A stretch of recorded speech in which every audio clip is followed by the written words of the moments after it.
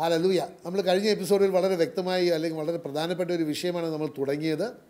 റോമാർക്കുള്ള ലേഖനം മൂന്നാമത്തെ അധ്യായം ഇരുപത്തി ഇരുപത്തി ആറാമത്തെ വചനത്തിൽ അതിന്റെ സത്ത് ഇങ്ങനെയാണ്. ഹാലലൂയ ദൈവത്തിന്റെ നീതി വെളിപ്പെടുത്തുവാൻ വേണ്ടി ഹാലലൂയ യേശു ക്രിസ്തുവിനെ നമ്മൾക്ക് ഹാലലൂയ നമ്മളുടെ എന്നാ പറയുന്നത് ഒരു രക്ഷയ്ക്ക് വേണ്ടി യേശു ദൈവം നമുക്ക് നൽകുകയും അങ്ങനെ യേശു ഒരു നീതിമാനാണെന്നും നീതി നീതി നീതിയുടെ ദൈവമാണെന്നും നീതീകരിക്കുന്ന ദൈവമാണെന്നും ഇതിലൊക്കെ എന്തുമാത്രം എന്നാ ഒരു തരത്തിൽ നോക്കുകയാണെങ്കിൽ എന്തുമാത്രം ദൈവത്തിന്റെ സ്നേഹം അവിടെ വെളിപ്പെടുത്തുന്നുണ്ട്. ഒരു തരത്തിൽ നോക്കുകയാണെങ്കിൽ നീതിയുടെ ദൈവം എന്ന് പറഞ്ഞാൽ നീതി എവിടെ നിന്നാണ് കിട്ടുന്നത്? നമുക്കറിയാം ഒരു കോടതി ചെല്ലുമ്പോഴാണ് നമുക്ക് നീതി കിട്ടുന്നത് അല്ലേ? ഒരാൾ നമ്മൾ നമ്മൾക്കുമായിട്ട് എതിരെന്തെങ്കിലും ചെയ്തിട്ടുണ്ടെങ്കിൽ അതിന് ആ വിഷയത്തിലൊരു നീതി വേണം നമ്മൾ ഒരു കോടതിയിൽ പോവുകയില്ലേ? അവിടെ ജഡ്ജാണ് ഡിസൈഡ് ചെയ്യുന്നത് തീരുമാനിക്കുന്നത് ആര് എന്താണ് ചെയ്യേണ്ടത് ആർക്കാണ് ശിക്ഷ കൊടുക്കേണ്ടത് അല്ലെങ്കിൽ ആരെയാണ് ശിക്ഷയിൽ നിന്ന് ഒഴിവാക്കേണ്ടത്. കാരണം നമുക്കറിയാം ഒരു കോടതി ചെല്ലുമ്പം വാദിയുണ്ട് പ്രതിയുണ്ട് അല്ലേ? വാദി പറയുന്നത് പ്രതിയെ ശിക്ഷിക്കണമെന്നാണ് പക്ഷേ അവൻ പറഞ്ഞതുകൊണ്ട് ശിക്ഷ കിട്ടുന്നില്ലല്ലോ. അവിടെ ഒരു നീതി കൊടുക്കുവാനായിട്ട് നീതി കൽപ്പിക്കാനായിട്ട് ഒരു ജഡ്ജുണ്ട് ഒരു ഒരു ജഡ്ജുണ്ട്. അപ്പോൾ ആ ജഡ്ജ് ആ ജഡ്ജാണ് നീതി കൊടുക്കുന്നത്. ഈസ് ജസ്റ്റ് അല്ലേ? നിയമത്തിന്റെ അടിസ്ഥാനത്തിൽ. അതുകൊണ്ടാണ് ദൈവത്തെ നീതി ഈസ് ജസ്റ്റ് എന്ന് പറയുന്നത്. കാരണം ദൈവം പിതാവായ ദൈവം അവിടെ നിൽക്കുമ്പോൾ നമുക്കറിയാം ആ നിയമത്തിന്റെ അടിസ്ഥാനത്തിൽ ആ കുറ്റം ചെയ്ത വ്യക്തിയെ കുറ്റം ചെയ്തിട്ടുണ്ടോ ഇല്ലയോ എന്ന് തീരുമാനിക്കുവാനും അങ്ങനെ ഒന്നെങ്കിൽ ശിക്ഷിക്കുവാനും അല്ലെങ്കിൽ ശിക്ഷയിൽ നിന്ന് ഒഴിവാക്കുവാനുമുള്ള കഴിവും ശക്തിയും അധികാരവും ഉള്ളതാണ് ജഡ്ജിന്. അപ്പോൾ ദൈവത്തിന്റെ വചനം പറയുന്നത് ഈസ് ജസ്റ്റ് ജസ്റ്റ് എന്ന് പറയുന്നത് ഹല ലൂയ നമ്മൾ മനസ്സിലാക്കണം ഈ എന്നാ ഒരു തെറ്റ് ചെയ്യാത്ത ഒരു വ്യക്തിയാണ്. നിയമം അതുപോലെ തന്നെ വ്യാഖ്യാനിക്കുന്ന ഒരു വ്യക്തിയാണ്. പക്ഷേ അതിന്റെ അപ്പുറത്ത് പറയുന്നുണ്ട് അവൻ നീതിമാനാണെന്ന്. എന്ന് പറഞ്ഞാൽ എങ്ങനെയാണ്? എന്നെ നീതീകരിക്കുന്നവനാണ്. അപ്പോൾ ഒരു തരത്തിൽ നോക്കുകയാണെങ്കിൽ ഒരു ഉദാഹരണം നോക്കുകയാണെങ്കിൽ ഞാൻ പറയാം ദൈവത്തിന്റെ വചനം പറയുന്നുണ്ട് ഹാല ലൂയ അവിടെ നീതിമാനായ ദൈവം പാപത്തിന്റെ വേദന എല്ലാവരും പാപം ചെയ്ത് ദൈവമാകത്ത് വീണുപോയതാണെന്നും പാപത്തിന്റെ വേദന മരണമാണ്. അതുകൊണ്ട് നിനക്ക് മരണശിക്ഷ വേണമെന്നേ നീതി നീതിയുടെ ഒരു ദൈവം പറയുകയുള്ളൂ. പക്ഷേ അടുത്ത പക്ഷേ അടുത്ത വചനം പറയുന്നത് എന്താണ്? അവൻ നീതീകരിക്കുന്നവനും കൂടിയാണെന്ന്. അപ്പോൾ നമ്മളുടെ മുകളിൽ കുറ്റം ചുമത്തുന്ന പിശാജ് കുറ്റപത്രം അവിടെ കൊണ്ടുവരുമ്പോൾ അല്ലെങ്കിൽ ഈസ് എൻ എക്യൂസർ അല്ലെങ്കിൽ കുറ്റം ചെയ്തതിന്റെ അപ്പോൾ തന്നെ നീതിമാനായ ദൈവം നമുക്കറിയാം പിതാവും യേശുവും ഞാൻ ഒന്നാണ്. അപ്പോൾ പിതാവിന്റെ നമ്മളുടെ എന്നാ പറയുന്നത് നിയമത്തിന്റെ ഒരു ശിക്ഷ നമ്മളിൽ ചുമത്തുന്നതിന് മുമ്പ് യേശു അവിടെ പറയുകയാണ് ഞാൻ ഇവന്റെ കുറ്റത്തിന് വേണ്ടി ഞാൻ എന്റെ രക്തം ചിന്തി അവനെ നീതീകരിച്ചു കഴിഞ്ഞു. അതുകൊണ്ട് ഇനി മുതൽ അവൻ കുറ്റക്കാരനല്ല അവന് ശിക്ഷ അർഹതയില്ല. ഞാൻ അവന്റെ ശിക്ഷ എന്റെ മേൽ ഏറ്റെടുത്ത് കഴിഞ്ഞു. അവൻ നീതീകരിക്കപ്പെട്ടവനാണ്. എന്ന് യേശു ക്രിസ്തു നമ്മളുടെ മധ്യസ്ഥനായിട്ട് പിതാവിന്റെ മുമ്പിൽ ജഡ്ജിന്റെ മുമ്പിൽ പറയും.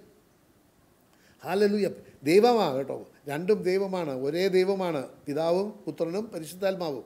അപ്പോൾ നമ്മൾ മനസ്സിലാക്കണം യേശു ചെയ്ത പ്രവൃത്തിയുടെ അടിസ്ഥാനത്തിൽ നിയമത്തിന്റെ അടിസ്ഥാനത്തിൽ എനിക്ക് ശിക്ഷയ്ക്ക് അർഹതയുണ്ടെങ്കിൽ പോലും യേശു ദൈവത്തിന്റെ സ്നേഹം വെളിപ്പെടുത്തി നീതി വെളിപ്പെടുത്തി എനിക്ക് വേണ്ടി ഞാൻ ചെയ്ത പാപങ്ങളൊക്കെ റദ്ദാക്കി അതൊക്കെ കവ കണക്കാക്കാതെ അതിന്റെ മുകളിൽ ഒരു ക ഒരു എന്നാ ഒരു പാസിങ് ഓവർ ഹാലലുയ കടന്നുപോയി.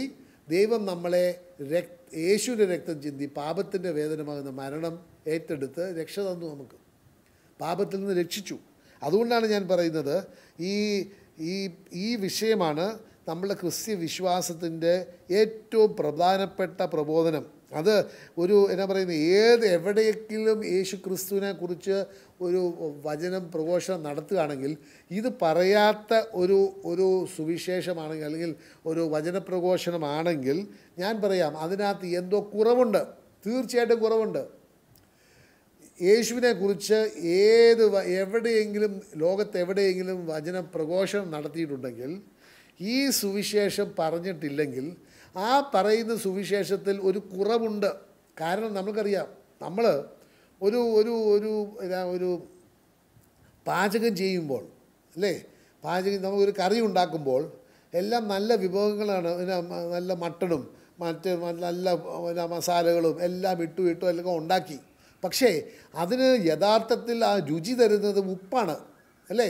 ഉപ്പില്ലാതെ ഒരു കറിക്കും രുചി ഉണ്ടാകുകയില്ല.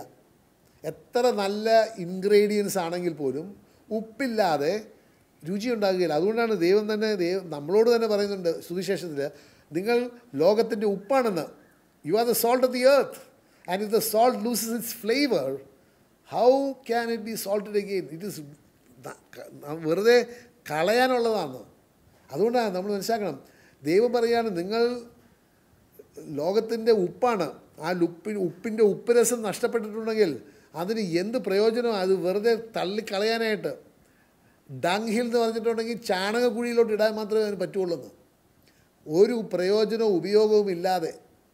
അതുകൊണ്ടാണ് നമ്മൾ പറയുന്നത് ഉപ്പ് എവിടെയാണെങ്കിലും പ്രധാനപ്പെട്ട ഒരു ആത്മീയ മേഖലയിൽ നോക്കുകയാണെങ്കിൽ നമ്മൾക്ക് ഒരു വിശ്വാസിക്ക് ഉപ്പില്ലെങ്കിൽ ആ ഒരു പ്രത്യേക ഒരു ദൈവത്തിന്റെ ഒരു അഭിഷേകം ഇല്ലെങ്കിൽ അത് എന്ത് പ്രയോജനമുള്ളത് അതുപോലെ തന്നെയാണ് നമ്മൾ കറി ഉണ്ടാക്കുമ്പോൾ അതിനകത്ത് ഉപ്പില്ലെങ്കിൽ ആ കറിയുടെ രുചി ഒരു പൂർത്തീകരണത്തിലേക്ക് വരികയില്ല. അതുപോലെ തന്നെ ഏത് വിശ്വാസത്തിലും അല്ലെങ്കിൽ ഏത് വചന പ്രഘോഷത്തിലും യേശുവിന്റെ ദൈവത്തിന്റെ കുരിശുമരണത്തിൽ ചെയ്ത ആ അനുഗ്രഹം നമ്മൾക്ക് കൈവരിക്കാൻ പറ്റിയതിനെക്കുറിച്ച് ഒന്ന് പറഞ്ഞിട്ടില്ലെങ്കിൽ കുറവുണ്ട് സഹോദര. തീർച്ചയായിട്ടും കാരണം നമ്മൾക്കറിയാം. ഹാല ലൂയ നമുക്കറിയാം ദൈവത്തിന്റെ വചനം പറയുന്നുണ്ട് മനുഷ്യൻ അപ്പം കൊണ്ട് മാത്രമല്ല ജീവിക്കുന്നത്.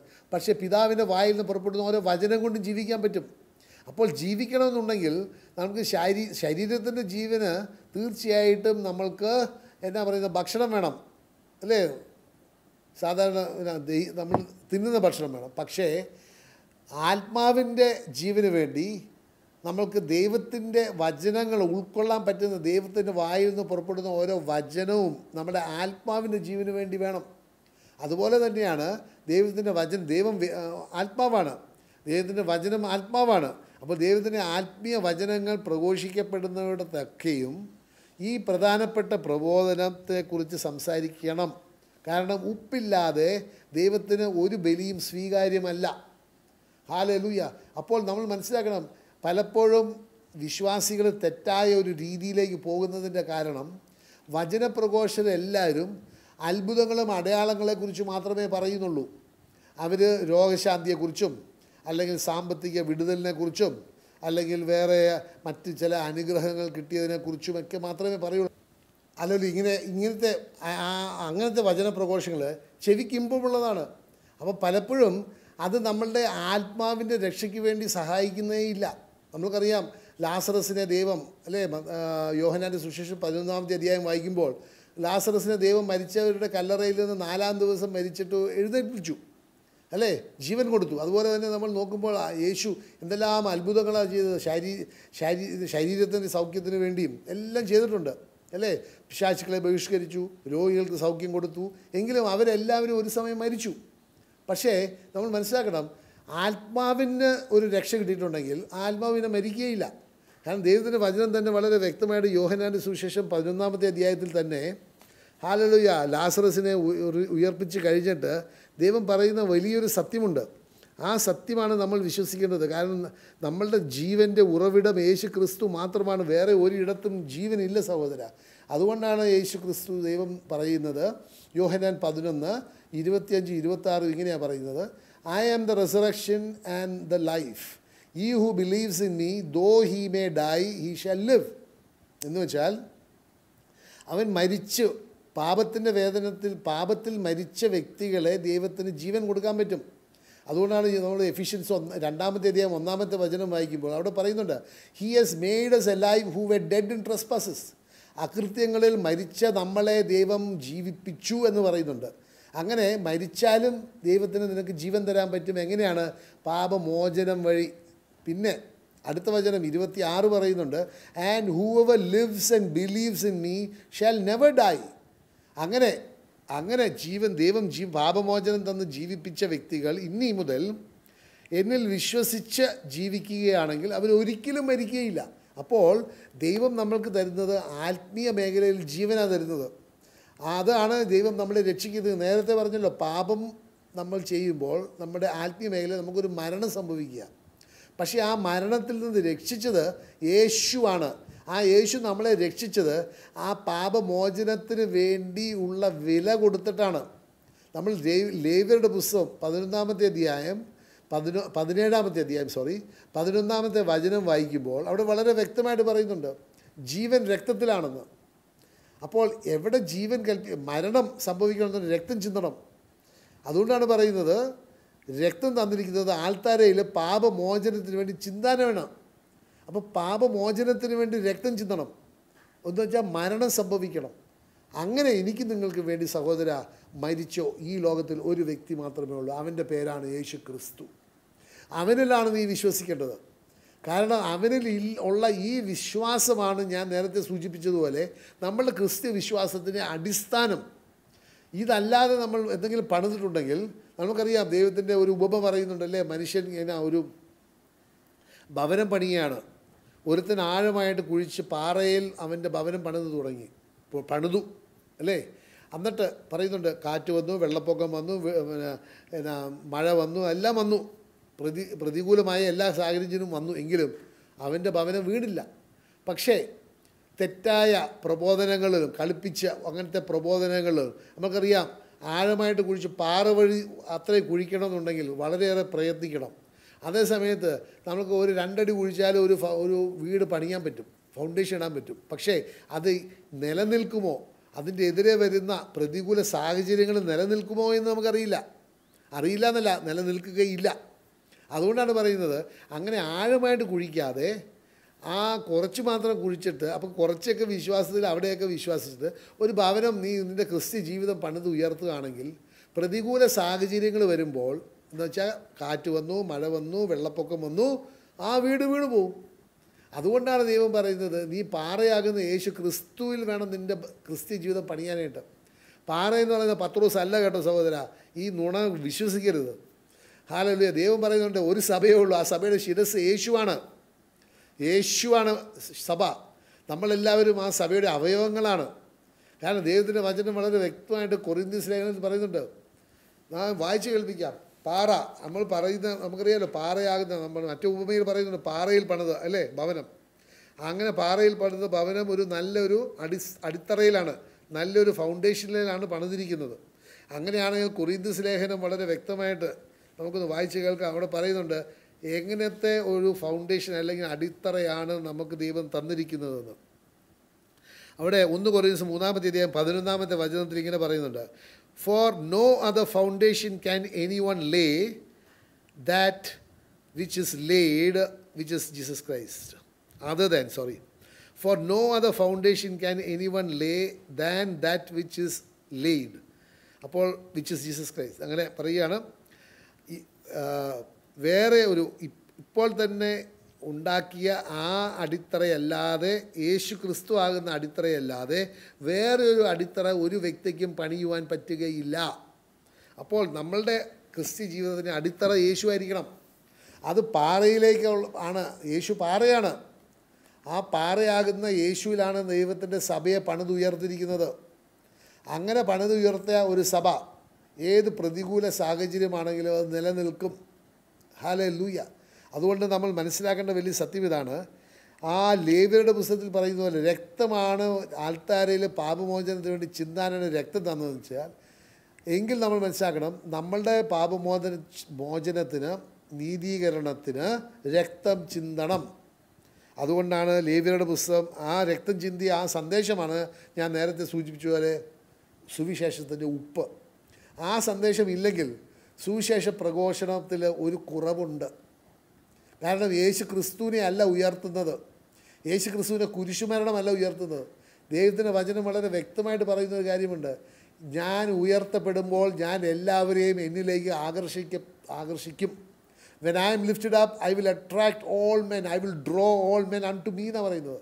അപ്പോൾ നമുക്ക് സുവിശേഷം പ്രഘോഷിക്കുന്നത് രക്ഷയ്ക്ക് വേണ്ടിയാണെങ്കിൽ ആ സുവിശേഷത്തിൽ യേശു ക്രിസ്തുവിന്റെ കുരിശുമരണവും നമ്മളുടെ നീതീകരണവും ഇല്ലെങ്കിൽ അത് യഥാർത്ഥത്തിലുള്ള ഒരു വചനപ്രഘോഷണമല്ല സഹോദര. അതുകൊണ്ടാണ് ആ ഉപ്പാകുന്ന ആ ദൈവത്തിന്റെ നീതീകരണ സുവിശേഷം ഏത് സുവിശേഷ പ്രഘോഷത്തിലും വേണം. അതാണ് ലേവരുടെ പുസ്തകം രണ്ടാമത്തെ അധ്യായം പതിമൂന്നാമത്തെ വചനം വായിക്കുമ്പോൾ and every offering of your grain offering you shall season with salt you shall not allow the covenant of your God to be lacking from your grain offering with all your offerings you shall offer salt Hallelujah. ഇവിടെ വളരെ വ്യക്തമായിട്ട് പറയുന്നതാണ് ദൈവം. Hallelujah എല്ലാ ബലികളും അല്ലേ? ധാന്യ ബലികളും hallelujah അതിനകത്ത് ഉപ്പിടണം ഉപ്പരസം വേണം. അപ്പോൾ അങ്ങനെ ഈ കൽപ്പന നിങ്ങൾ ലംഘിക്കരുത്. കാരണം നിങ്ങളുടെ ആ എന്നാ എന്നാ ബലി ബലി പൂർണ പൂർത്തീകരിക്കണം അല്ലെങ്കിൽ ദൈവത്തിന് സ്വീകാര്യമാകണമെന്നുണ്ടെങ്കിൽ നിങ്ങൾ എന്റെ കൽപ്പന പാലിച്ച് എല്ലാ ബലികളിലും എല്ലാ സമർപ്പണത്തിലും അവിടെ ഉപ്പ് വേണമെന്നാണ് പറയുന്നത്. അപ്പോൾ സഹോദര ഇതുകൊണ്ടാണ് ഞാൻ പറഞ്ഞത് ഇതാണ് ഏറ്റവും പ്രധാനപ്പെട്ട വിഷയം അല്ലെങ്കിൽ message the message in Romans ഞാൻ നേരത്തെ പറഞ്ഞല്ലേ മൂന്നാമത്തെ അധ്യായം ഇരുപത്തിനാല് മുതൽ ഇരുപത്തിയാറ് വരെ ആണ് സുവിശേഷത്തിന്റെ ഉപ്പ്. Hallelujah hallelujah. ഇത് നമ്മളെ രക്ഷിക്കുന്ന നമ്മുടെ ആത്മാവിനെ രക്ഷിക്കുന്ന ഒരു പ്രബോധനമാണ്. നേരത്തെ പറഞ്ഞ പോലെ ഒരു അടിസ്ഥാനകരമായ പ്രബോധനമാണ്. ഹാലലുയ. അങ്ങനെ ഹാലലുയ ആ പ്രബോധനം കേൾക്കുമ്പോൾ അത് ഉൾക്കൊള്ളുവാൻ പറ്റുമ്പോൾ മാത്രമേ മനുഷ്യന്റെ യഥാർത്ഥത്തിലുള്ള സത്യവിശ്വാസം ഉളവാകുന്നുള്ളൂ. അത് കേൾക്കുവാൻ മനുഷ്യന് താല്പര്യമുള്ളത് ദൈവത്തിന് വളരെ പ്രീതികരമുള്ളൊരു കാര്യമാണ്. കാരണം എന്താണ്? ദൈവം ഇത്രയധികം സ്നേഹിച്ച് പുത്രനെ ലോകത്തിന്റെ രക്ഷയ്ക്ക് വേണ്ടി തന്നിട്ടുണ്ടെങ്കിൽ ആ പുത്രന്റെ രക്ഷാപ്രവൃത്തിയെക്കുറിച്ച് നീ വിശ്വസിച്ച് ഏറ്റു പറയുമ്പോൾ ആ ദൈവത്തിന്റെ സ്നേഹത്തിന് ഒരു ഫലമായിട്ടാണ് ദൈവം കാണുന്നത്. ദൈവത്തിനത് വളരെ പ്രീതികരമാണ് അതുകൊണ്ട് സഹോദരൻ ഞാനൊരു കാര്യം പറയാം. ആലലുയ ഏത് മത പണ്ഡിതന്മാരോ അല്ലെങ്കിൽ എന്നാ പറഞ്ഞ് ജ്ഞാനികളോ നിങ്ങളോട് പറയുകയാണ് യേശു ക്രിസ്തുവിന്റെ പുറമേ വിശ്വാസമുണ്ട്. അത് ചിലപ്പോൾ നിങ്ങളുടെ ബുദ്ധിയിൽ അല്ലെ ജഡത്തിൽ അത് ന്യായമായിട്ട് തോന്നുമായിരിക്കും. പക്ഷേ അത് ജഡത്തിലുള്ളതാണ്. അതുകൊണ്ട് അത് വിശ്വസിക്കരുത്. കാരണം അത് ജഡത്തിലായതുകൊണ്ട് തന്നെ ദൈവം പറയുന്നുണ്ട്. യോഹനാന്റെ സുവിശേഷം ആറാമത്തെ അധ്യായം അറുപത്തിമൂന്നാമത്തെ വചനത്തിൽ പറയുന്നുണ്ട് ആത്മാവാണ് ജീവൻ തരുന്നത്. ദൈവം ആത്മാവാണ്. ആത്മാവാണ് ജീവൻ തരുന്നത്. ജഡമൊന്നിനും പ്രയോജനപ്പെടുന്നില്ല. ഞാൻ നിങ്ങളോട് സംസാരിക്കുന്ന വചസ്സുകൾ അത് ആത്മാവാണ് അത് ജീവനാണെന്നാണ് അപ്പോൾ നമ്മളുടെ ആത്മാവിന് ജീവൻ വേണമെന്നുണ്ടെങ്കിൽ ദൈവത്തിന്റെ വചനത്തിന് മാത്രമേ ജീവൻ തരാൻ പറ്റുള്ളൂ. ദൈവത്തിന്റെ വചനം ആരാണെന്ന് വെളിപാട് പുസ്തകം പത്തൊൻപതാമത്തെ അധ്യായം പതിമൂന്നാമത്തെ വചനം പറയുന്നുണ്ട് അവന്റെ നാമം ദൈവവചനമാണെന്ന്. അങ്ങനെയാണെങ്കിൽ ഹാലലൂയ നമ്മൾ മനസ്സിലാക്കേണ്ട ഒരു സത്യം ഇതാണ്. യേശു ക്രിസ്തു ആകുന്ന ദൈവത്തിന്റെ വചനത്തിന് മാത്രമേ നിന്നെ രക്ഷിക്കുവാൻ പറ്റുകയുള്ളൂ. അപ്പോൾ അങ്ങനെ നമ്മൾ മനസ്സിലാക്കുന്നു. ആ വചന പ്രഘോഷണത്തിൽ എന്തെങ്കിലും കുറവുണ്ടെങ്കിൽ അത് ദൈവത്തിന് പ്രീതികരമായ കാര്യമല്ല. കാരണം യേശു പിതാവ് നോക്കുന്നത് യേശുവിനെ നമ്മൾ ഉയർത്തുന്നുണ്ടോ ഇല്ലയോ എന്ന് മാത്രമാണ്. അപ്പോൾ യേശുവിനെ നമ്മുടെ ജീവിതത്തിൽ ഉയർത്തിയാൽ മാത്രമേ നമുക്ക് ഹാലലൂയ ആ മറ്റുള്ളവരെ ഈ വചനങ്ങൾ കേൾക്കുന്ന വ്യക്തികളെ യേശുവിലേക്ക് ആകർഷിക്കാൻ പറ്റുകയുള്ളൂ പിന്നെ നമുക്കറിയാം ഗ്രാമർ മലയാളത്തിൽ എന്താ ഗ്രാമർ എന്ന് പറയുന്നത് എനിക്ക് അറിഞ്ഞുകൂടാ. എങ്കിലും ഒരു ഭാഷ നമുക്ക് യഥാർത്ഥത്തിൽ ശരിക്ക് അത് സംസാരിക്കണമെന്നുണ്ടെങ്കിൽ അർത്ഥപൂർവം മറ്റുള്ളവർക്ക് മനസ്സിലാക്കത്തക്ക വിധം നമ്മളൊരു ഭാഷ സംസാരിക്കണമെന്നുണ്ടെങ്കിൽ അതിന്റെ ഗ്രമാറ്റ് ഗ്രാമറും വളരെ ഇമ്പോർട്ടന്റാണ് ഗ്രാമർ എന്ന് പറയുന്നത് കൂടുതലും അതിന്റെ വാക്കുകൾ എങ്ങനെയാണ് ആ ഒരു ക്രമത്തിൽ അറേഞ്ച് ചെയ്ത് വെച്ചിരിക്കുന്നത്. ഓരോ ഭാഷയ്ക്കും അതിന്റേതായ ക്രമമുണ്ട്. ഒരേ ആശയം പറയുമ്പോൾ വാക്കുകളുടെ അറേഞ്ച്മെന്റ് പലതരത്തിലാണ്. അതുകൊണ്ട് ഒരു വ്യക്തി മറ്റു വ്യക്തിയുമായിട്ട് സംസാരിക്കുമ്പോൾ ആ വാക്കുകൾ ആ ആ ഭാഷയുടെ ആ നിയമം അനുസരിച്ച് ക്രമീകരിച്ചിട്ടില്ലെങ്കിൽ വാക്കുകൾ പറഞ്ഞിട്ടുണ്ടെങ്കിൽ മറ്റു വ്യക്തിക്ക് ഇത് മനസ്സിലാക്കാൻ പറ്റുകയില്ല. കുറേ വാക്കുകൾ പറഞ്ഞു പക്ഷേ അത് അതിന്റേതായ ലോജിക് സീക്വൻസിലല്ല പറഞ്ഞിരിക്കുന്നത്. അതിന്റെ ഗ്രാമർ അനുസരിച്ചല്ല പറഞ്ഞത് it was not grammatically correct അതുകൊണ്ട് അതിന്റെ ആശയം പൂർണമായിട്ട് മനസ്സിലാക്കാൻ പറ്റുകയില്ല. അതുപോലെ തന്നെയാണ് ദൈവത്തിന്റെ സുവിശേഷം നമ്മൾ പ്രഘോഷിക്കുമ്പോൾ ദൈവത്തിന്റെ അടിസ്ഥാനകരമായ ഈ തത്വം യേശു ദൈവം നീതിയുടെ ദൈവമാണെന്നും അവൻ നീതീകരിക്കുന്ന ദൈവമാണെന്നുമുള്ള അടിസ്ഥാനകരമായ ഈ തത്വം നമ്മൾ പ്രഘോഷിക്കുന്നില്ലെങ്കിൽ ആ പ്രഘോഷണത്തിൽ ഒരു ഗ്രമാറ്റിക്കൽ എററുണ്ട് അത് മറ്റുള്ളവർക്ക് ദൈവത്തിന് അത് ഒട്ടും സ്വീകാര്യമല്ല. മറ്റുള്ളവർക്ക് അത് മനസ്സിലാക്കാൻ പറ്റുകയില്ല എന്ന് വെച്ചാൽ അവിടെ ആത്മാവിന് മനസ്സിലാക്കാൻ പറ്റുകയില്ല. അങ്ങനെ ആത്മാവിന് ഒരു ഒരു എന്നാ പറയുക ഒരു ഉന്മേഷമോ ഒരു പ്രചോദനമോ അല്ലെങ്കിൽ ഒരു ഒരു ഒരു മാനസ് മാനസാന്തരമോ അല്ലെങ്കിൽ ഒരു എന്നാ പറയുന്ന ഒരു ഒരു ദൈവത്തിലേക്ക് തിരികെ വരണമെന്നുള്ള ഒരു ഒരു ചിന്തയോ ആഗ്രഹമോ ഉണ്ടാകുകയില്ല. കാരണം എന്താണ്? അത് പറയേണ്ട രീതിയിൽ പോലെയല്ല പറഞ്ഞിരിക്കുന്നതോ അല്ലെങ്കിൽ പറയേണ്ട കാര്യങ്ങൾ പറഞ്ഞിട്ടില്ല. ഹാലലൂയ. അതുകൊണ്ടാണ് നമ്മൾ മനസ്സിലാക്കണം ഈ ദൈവത്തിന്റെ സുവിശേഷത്തിനെ സംബന്ധിച്ച് the justifica that God is just നീതിമാനായ ദൈവമാണെന്നും അവൻ നമ്മളെ നീതീകരിക്കുന്നുണ്ട് എന്ന് നീതീകരിച്ചു കഴിഞ്ഞു എന്നുള്ളതാണ് ദി ഗ്രാമർ ഓഫ് ഡോക്ടറിൻ അത് യേശു ക്രിസ്തുവിനെ നീതി വെളിപ്പെടുത്തുന്നതാണ്. അത് വെളിപ്പെടുത്താതെ ഏത് പ്ര വചനപ്രഘോഷണവും ദൈവത്തിന്റെ വചനത്തിന്റെ ഒരു ഒരു പൂർണതയിലേക്ക് ആ പ്രബോധനത്തെ കൊണ്ടുവരുന്നില്ല. അല്ല ആ പ്രഘോഷണത്തെ കൊണ്ടുവരുന്നില്ല. കാരണം ഇറ്റ് ഇസ് ലാക്കിങ് എന്തോ കുറവുണ്ട്. ഹാലലൂയ. കാരണം നമുക്കറിയാം ഇങ്ങനത്തെ ഈ സത്യവചനം കേൾക്കുമ്പോഴാണ് ദൈവത്തിന്റെ ആ പദ്ധതിയെക്കുറിച്ച് നമ്മൾക്ക് മനസ്സിലാക്കാൻ പറ്റുക. നമ്മളറിയാം ദൈവത്തിന്റെ പദ്ധതി ആദവും ഔവയും സൃഷ്ടിച്ചപ്പോൾ അവർ ദൈവവുമായിട്ട് അവർക്ക് വളരെ നല്ലൊരു സ്നേഹബന്ധമുണ്ടായിരുന്നു. പക്ഷേ പാപം വഴി ആ ബന്ധം വിച്ഛേദിക്കപ്പെട്ടു പോയി. അങ്ങനെ അവർ പാപം ചെയ്ത് ദൈവമായിട്ട് ശത്രുതയിലായിരുന്നു മല്ലിടുകയായിരുന്നു. നമ്മൾ പിന്നെ സുവിശേഷങ്ങളൊക്കെ വായിക്കുകയാണെങ്കിൽ മനുഷ്യന്റെ ജീവിത രീതി തന്നെ. ഒരിടത്ത് പറയുന്നുണ്ട് ദൈവം എന്താ പറയുന്നത്? മനസ്സ് മടുത്ത് പറഞ്ഞു ഞാൻ മനുഷ്യരെ സൃഷ്ടിച്ചത് തന്നെ വലിയ അബദ്ധമായി പോയെന്നൊക്കെ. അല്ലേ? പിന്നെ ആ എന്നാ പറയുന്നത് മനുഷ്യൻ ദൈവത്തിന്റെ അവിടെ ദൈവത്തെക്കാൾ ഉന്നത സ്ഥാനത്തേക്ക് പോകുവാനായിട്ട് ബാബേൽ എന്ന് പറയുന്ന വലിയൊരു ടവർ അവർ പണിയാൻ തുടങ്ങി. അങ്ങനെ മനുഷ്യൻ ദൈവമായിട്ട് ഒരു മല്ലിടുകയായിരുന്നു. മനുഷ്യനെ സൃഷ്ടിച്ചപ്പോൾ ദൈവത്തെ ആശ്രയിച്ചിട്ടൊരു ജീവിതം നയിക്കാനാണ് ദൈവം സൃഷ്ടിച്ചത്.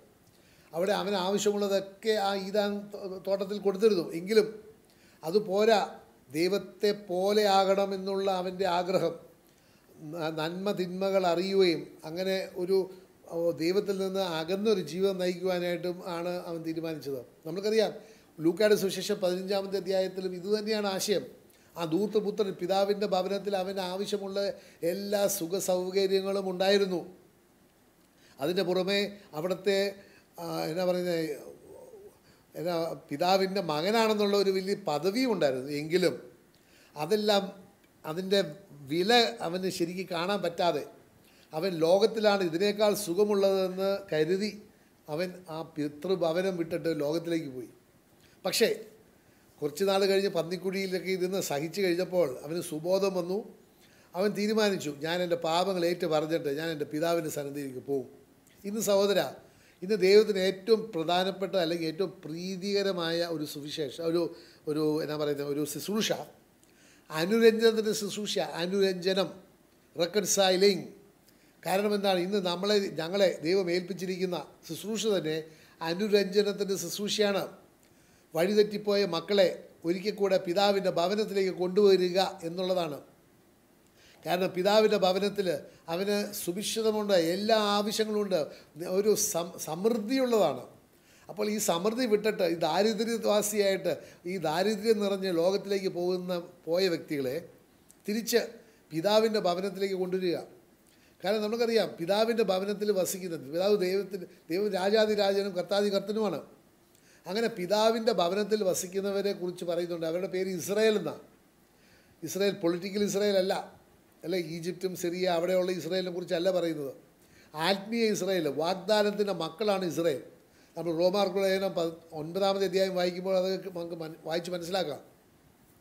അങ്ങനെയുള്ള ഇസ്രയേലിന്റെ പേര് ഉത്ഭവിച്ചത് യാക്കോബിൽ നിന്നാണ്. യാക്കോബ് എന്ന് പറയുന്ന പേരിന്റെ അർത്ഥം തർജമ നുണയനും കബളിപ്പുകാരനാണ് പക്ഷേ ദൈവവുമായിട്ട് അവനൊരു കൂട്ടുമുട്ടലുണ്ടായപ്പോൾ ദൈവത്തിനോട് അവൻ അവന്റെ പാപങ്ങളൊക്കെ ഏറ്റുപറഞ്ഞ് നീ എന്നെ അനുഗ്രഹിക്കാതെ നീ ഞാൻ നിന്നെ വിടുകയില്ല. കാരണം എനിക്ക് നിന്റെ അനുഗ്രഹം മാത്രം മതി. എന്നൊക്കെ ഉള്ള ആ ജ്ഞാനം അവന് വെളിപ്പെടുത്തി കിട്ടി. അവൻ അത് ഏറ്റു പറഞ്ഞപ്പോൾ ദൈവം പറഞ്ഞു ഞാൻ നിന്റെ പേര് മാറ്റാൻ പോവുക ഇനി മുതൽ നീ കള്ളനോ കബളിപ്പുകാരനോ നുണയനോ ഒന്നുമല്ല വഞ്ചകനോ ഒന്നുമല്ല. ഞാൻ നിന്നെ രൂപാന്തരപ്പെടുത്തി നിനക്ക് ഇസ്രയേൽ എന്ന് പേര് തരാൻ പോവുക ഇസ്രയേൽ എന്ന് പറയാൻ എന്താണ്? ദൈവത്തോട് കൂടെയുള്ള രാജകുമാരൻ രാജകുമാരിയും അല്ലേ? Prince and princess with God അപ്പോൾ നമ്മൾ ഇന്ന് വസിക്കുന്നത് ദൈവ നമ്മൾ യഥാർത്ഥത്തിൽ ദൈവത്തിലേക്ക് തിരികെ വന്നിട്ടുണ്ടെങ്കിൽ നമ്മൾ ദൈവത്തിന്റെ മക്കളാണ്. ദൈവം രാജാവാണ്. അങ്ങനെയാണെങ്കിൽ രാജാവിന്റെ മക്കളെ രാജ് രാജകുമാരനും രാജകുമാരിയും എന്നാണ് വിളിക്കുന്നത്. അങ്ങനെയുള്ളവർക്ക് ഒരു കുറവും ഉണ്ടാകുകയില്ല.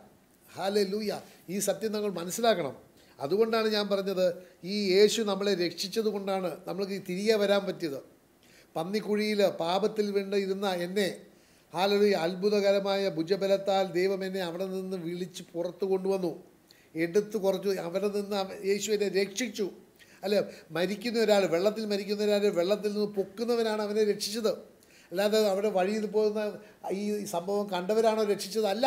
എന്നെ മുങ്ങി മരിക്കാൻ പോകുന്ന എന്നെ ആ വെള്ളത്തിൽ നിന്ന് പൊക്കിയെടുത്ത് കൊണ്ടുവന്നതാണ് അവരാണ് ആലോചിക്കുക യഥാർത്ഥത്തിൽ എന്നെ രക്ഷിച്ചത്. അങ്ങനെയുള്ള ആ ജ്ഞാനം നമ്മൾക്ക് കിട്ടുമ്പോഴാണ് നമ്മൾക്ക് രക്ഷകനാഥനുമായത് യേശു മാത്രമേ ഉള്ളെന്നും ആ യേശുവിനെ മാത്രമേ ഞാൻ സ്നേഹിക്കുകയുള്ളൂ എന്നുള്ള തീരുമാനം എടുക്കുവാൻ പറ്റുക. ഹാലൂയ അങ്ങനെ നമ്മൾ മനസ്സിലാക്കുന്നു ആ ദൈവത്തിന്റെ ഈ സന്ദേശം നമ്മൾ വചനത്തിലൂടെ പ്രഘോഷിക്കുവാൻ നിങ്ങളിപ്പോൾ കേൾക്കുമ്പോൾ ദൈവത്തിന് ഈ നമ്മൾ ഈ യേശുവിന്റെ ഈ ലോകത്തിൽ വന്ന ആ ദൗത്യം നമ്മുടെ ഹൃദയത്തിൽ ആഴമായിട്ട് അവിടെ ഇസ് റൂട്ടഡ് ആഴമായിട്ട് അവിടെ ദൈവം സ്ഥാപിക്കുകയാണ്. ആ ദൈവത്തിന്റെ ഉദ്ദേശം യേശു ക്രിസ്തുവിനെ ഈ ലോകത്തിൽ ഈ ലോകത്തിലേക്ക് അയക്കുവാൻ അയച്ചതിന്റെ ഉദ്ദേശം എന്താണെന്നും അതുവഴി നമുക്ക് കിട്ടുന്ന അനുഗ്രഹം എന്താണെന്നുമുള്ള ആ ജ്ഞാനം നമ്മുടെ ഹൃദയത്തിൽ ആഴമായിട്ട് ദൈവം അവിടെ നിക്ഷേപിക്കുകയാണ്.